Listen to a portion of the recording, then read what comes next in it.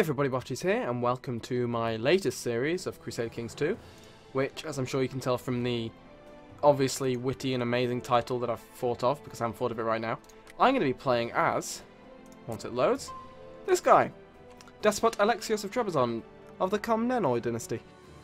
Now, if you don't know about the Ken Komnenoi, can't even pronounce the bloody name, if you don't know about them, I'm going to have a really obvious plug here and suggest you watch my video, where I go through the life of Alexios I of the Komnenos dynasty, who seized control of the Byzantine Empire and basically sort of restored it and began the Komnenoi restoration. Um, it, it did pretty well until his grandchildren, I think, took over and then got deposed by the Angelos, who are not in power anymore.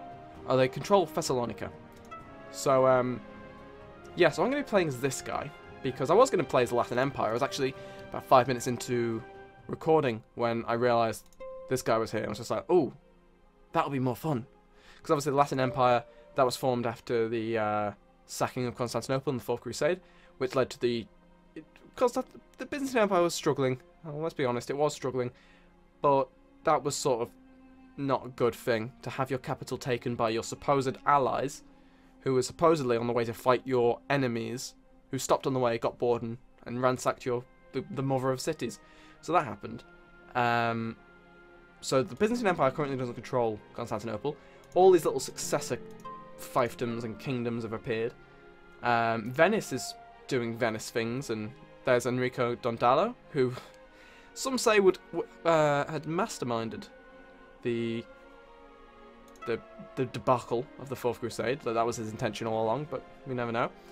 Um, and obviously the Sultanate of Rum, the Seljuk Sultanate of Rum. They call themselves Rum because they're just like, ah, we're going to be Rome now too. Everyone else is having a go. Because obviously it's Holy Roman Empire, the Byzantine Empire, which is Eastern Roman Empire. So they were the, they styled themselves as the successors of Rome after these guys didn't really measure up. Obviously, that didn't go down well. So I'm going to play as this guy, the titular kingdom of Trebizond, which I don't think can be formed by either the AI or by a player by decision. So other titular kingdoms can be formed, like the, the, the Latin Empire, for example. That can be formed. You have to be Catholic and control basically this land, and you can form it. It costs some money and it gives you piety and prestige or something like that. Uh, but anyway, let's start. So, I'm in a decent position. I've got just done just over four and a half thousand men. Um, I have a claim on the Byzantine Empire, which makes sense because my grandfather was the guy Manuel Komnenos. Isn't that the guy who had his... Ah, I'm not sure. Let's have a look. My history is a bit dodgy. Andronikos. Ah, yes. Poor Alexios II. Natural death. It was not natural. This guy, his successor, had him kill his own mother, and then had the boy killed to take over. That's that's not a nice guy. So it's not really a surprise when the Angelos took over after. Um, but it does mean that... Who was my uh, grandfather again? Andronikos. Oh, this guy, the guy who was a dick. Yeah, he's, he's my grandfather. So because of him, I have a claim, which is pretty good. Now, it's a strong claim, so I don't need to crest it this life. But uh, it would be good to do. My heir is my, is my brother, which is, eh, it's not too bad, but, you know, I think my ambition is going to be not have a daughter, have a son, because that'll give me a fertility boost, and I'm going to go with hunting, because, actually, will I? Am I going to? Yeah, I'm going to go with hunting. Hunting's, a, at the moment, very, very good. So I have a ducal claim on quite a few bits of land. Oh, I random control bits of uh, Cherson which is interesting. I could go to war with uh, this guy. He doesn't have much money. He's getting a lot of money, though. So I might be able to get that down fast enough to actually negate the fact he's going to be earning a fortune and can hire some mercs. But um, in terms of actual goals for this series, my, my main aim is to, well, reclaim the purple. That might be the title of my series. We'll see. Uh, yeah, I'm to that's my that's my that's my objective. I'm going to reclaim the Byzantine Empire and destroy the Latin Empire. Because, oh, it could be cool to have both, to be honest. Not sure how to go about doing that, but that would be a nice little challenge to add to it. I mean, it's all going to be pretty difficult anyway, but whatever. Uh, so I don't actually think the this is it is it is it is titular. So eventually that will de jure drift. Um, Armenicon, not Trebizond, because I don't fully control it. The Sultan of Rum does. Rum being very powerful. I do not want to go to war with them right now. Um, does he hate me? He does hate me. Well, let's have a look. So my best guy is this guy. No surprise there. I'm going to have him improve relations with Rum, because they have Holy War CBs on me. The other guys do not, so it's less likely they'll go to war with me. I'm going to have this guy improve training. I'm guessing he's the best. Yep. Uh, I have him give me gold. Is he really my best spy? No, this guy like this guy is better. So I'm gonna have him. Where's the best place at the moment? Because obviously Constantinople's been sacked, so surely a lot was lost. 21, 23, 21, 20, 22, 19. Yeah, it is. Constantinople is still pretty great. So you can go over there. Oh, apparently not. Misclicking everything. And does he need to convert? No, he doesn't. So he can do that. So I'm Orthodox, which is good because that gives me Autocephalous Patriarchs. Uh, who's my religious head? Oh, it's the Ecumenical Patriarch. Because I am de jure part of the Byzantine Empire, my religious head is always going to be the Ecumenical Patriarch. If I was, say, the, I don't know, Orthodox king of Abyssinia, or emperor of Abyssinia, I would have my own Autocephalous Patriarch who would basically do what I wanted him to do. So, whatever. Cool. Right, so, I have 4,000 odd men. This guy has more, so not going to immediately press my claim, I don't think. That would not be wise. But what I will do is look for other places to expand. I can't really go with Cumania, that's too big at the moment. But I think I will go for uh, this little bit of land here. I think that would be beneficial for me. So I'm going to jure claim Theodosia. Raise my vassals. None of them apparently being over there. Um, Korchev. Why Oh, he's... He's not, he's not helping me. Okay. Um, and then I'm going to raise my fleet, my vassal fleets, because I need the money. I'm not going to use my actual fleets. God, no. And I'm going to embark everyone. Can everyone embark? Uh, yeah. Embark. This is quite a nice little setup here. I don't need to move anyone. Amazing. Right. Everyone uh, sail over that. Crusade for Andalusia. That is, eh, not too bad. Would have been more useful over here, to be honest. But what can you do? Everyone can drop off in Charson, or Cherson. And they can be disbanded. And these guys can march over there. And I'm going to auto balance. And that's all Oh, polling. Oh, there we go. That's better. Now I can tell people what to do. So, immediately resign, because I am terrible. My martial leaders are awful as well. That's not good.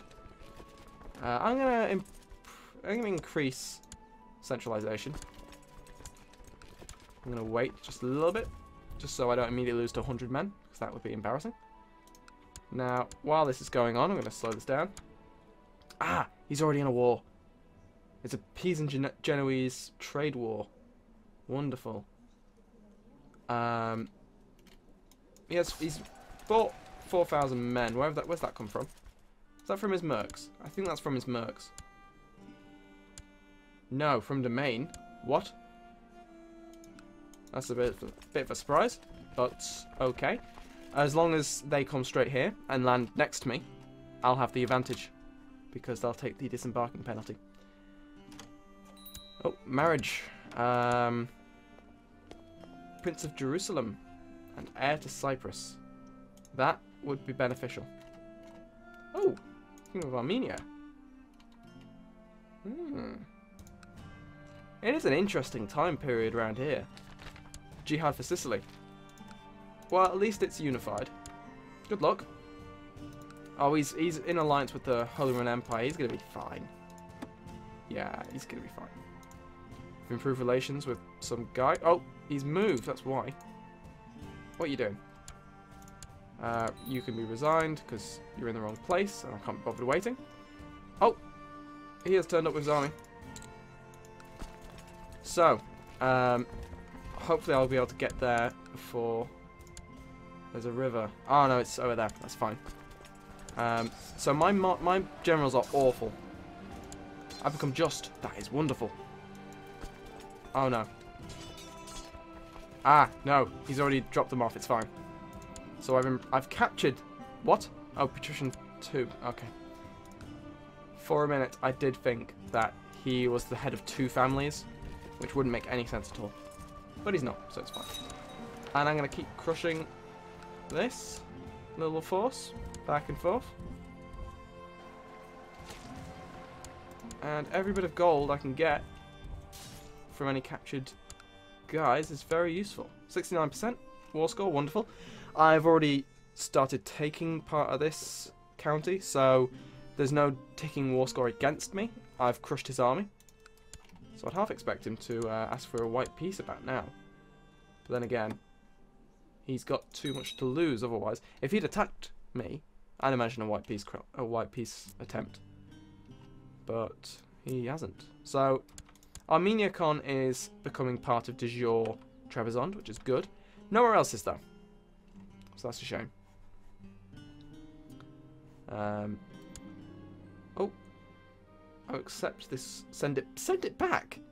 Quietly dispose of it. That's horrible. I will name it Faithful. Again, I'm sure there is a uh, a benefit to the names, and I do mean to look into them. Probably like Faithful, Hunter, and Tricky. I'm sure they give they have a chance to give you extra learning, uh, intrigue, or martial. Just makes sense. Oh, they've dropped people off into Theodosia and were immediately killed. So it's left. It's come to get more. I'm gaining quite a bit of gold. This is fantastic. Good stuff. What's going on over here? Oh, defending against the Latin Empire. Uh, and also joining the Crusade. So he's done exactly what I was going to do as Latin Empire. Um, I was going to go to war with the Byzantines, and what have they done? Latin claim on Thessalonica. Oh no, he's gone for this guy down here. Oh, and he's joined in. Fair enough. See, I was going to go for the Byzantine Empire and press my claims for the Duchy of Thessalonica, which is a great, not Thessalonica, Nicaea, and Samos. You get both of them, and that would be amazing. But um, I opted to go for Trebizond instead. Oh, and they've dropped off more guys, and I'm killing them because of the disembarkation penalty, and it's 100%. Wonderful. What is that? It's an army of some sort. No, I was looking to see if it was a merc company. Just hope so. I'm basically just crushing them in the hope of getting some hostages. And he said back to Theodosia, because I can end the war now. And I become ill. That's that's not good. That is not good at all. So anyone I can... Nope, I've got no prisoners. I will end the war. This guy's my liege. I can revoke it, but people will hate me. Hmm, why's that? Obviously, I'm, I'm a tyrant, that's why. But, he's Italian and Catholic. I don't like that. Uh, that's not good. But this guy... Why does he hate me? Too many held duchies. Oh, I've got the Duchy of Cherson. Of course I do. That's what I've just fought for. So if I give this guy the Duchy of Cherson, I have loads of bloody titles. Okay, yeah. So I now have a Duke vassal, which some would say is not the best, but whatever. Um, I control Trebizond, obviously. Paphlagonia. Where's Paphlagonia? Oh, that's Paphlagonia. Cool. Um, now these guys are currently... Oh, hello. They've lost a war. Well, they're in the middle of a war and they've lost lots of troops. Who are their allies? This guy is now a vassal, probably, of... No. Okay, he doesn't really like him. I'm going to do this. I'm going to claim the Byzantine Empire. Why not? I was going to go to jure claim Heraclea, but I have a claim on the Empire, so I might as well. Wonderful. Let's do it. I have no troops. I have some troops. Uh, have them all grouped there. I'm getting a lot of money. Well, I might gain less now that I've uh, raised my troops, but still should be alright. Central uh, centralization, which is good. March them over the border. Oh, what's going on here? Oh, they're... Oh. They've just gone. They've just done a holy war. For Cypriots down there. Go for it, man. I'll just sit up here, let you win your war, and then I'll claim the empire and get it all back. So thank you. Wonderful. So, group this army. Oh, that's weird. I don't know if you noticed that, but there was suddenly nothing at the top here. Uh, I've improved relations with Seljuks. These guys, this guy. Which is good. Um, oh, there's an Abbasid. It's the Caliph. Ah. He's done what I tried to do. Good for him.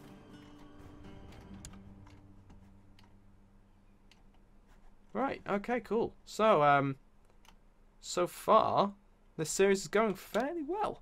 I got a quick early war against this guy to claim Trebizond, uh, to claim that. I'm no longer ill, which is good. That means I'm more likely to have a kid. Why does she does not like me at all? Who is she? Some random woman. Send gift. Now she likes me. I'll award honorary title. Hi, Almina. There we go. Now give me babies. I need some kids. Um, if I need to, I can I can expel, borrow and borrow from the Jews and then expel them. That could be worth doing. This guy's what? Why am I hostile to this random bit of oh it's a this this single bishopric listens to the emperor but not this emperor it's a different emperor and he's has he backed out of the war with uh no no he's still in it Latin claim on Thessalonica he's a in while defending an ally he made his own holy war and then I've attacked him so it's all going well uh, yeah, cool. So, this is happening. Um, Trebizond is actually a really good start, to be honest.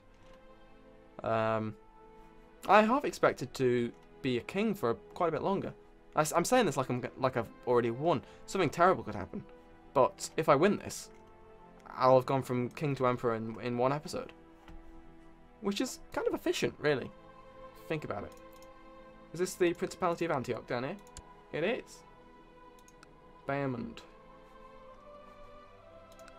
One of one of the Bohemonds. Okay, so uh, hang on. Did my sister not marry? Or some relation of mine? Not marry uh, someone related? Oh no, she's dead. I'm sure there was some sort of marriage with with Jerusalem, but apparently not. No, it wasn't even him. Thought she might have died or something. But okay, well, um, getting close to the end of this episode. I might actually, if I, I'm, I'm not going to win the war. It's, it's too big of a war to win that quickly. But um, I should be able to at least besiege this holding down, and that would be a, a good start to a series, to be honest. And I mean, then I'll be. I mean, I like this area at the moment because obviously I've got this series on the go, and some of those armies. Got this series on the go, and I've also got um, my Mesopotamia, my Nestorian playthrough, which is going quite well, in that I haven't been wiped out, so that's always positive. And I've obviously got this one, so I, it's a very rich area, in, not in terms of financial, I suppose, but not in terms of financially, not in terms. Of, oh Christ! Uh, okay. Okay. Um, I see you don't want to lose your empire. Where have all those troops come from? Laddie? Hired? Hired? You fucking kidding? Um, how long? 19th of March. 20th of March. 24th of March. Uh, okay. Um, fleets? Fleets? Can the fleets help me?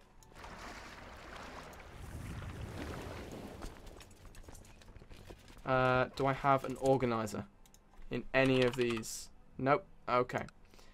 So, what was looking to be a very quick and easy war is about to get a bit tougher. So, thank you very much for watching. Uh, next episode, I'm going to see if I can get out of this without losing my army. And I will see you then.